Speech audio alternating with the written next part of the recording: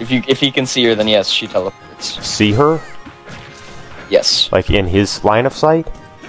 Yes. How? Like this. or not if he not if she's flinging in the air if you fucking hit her.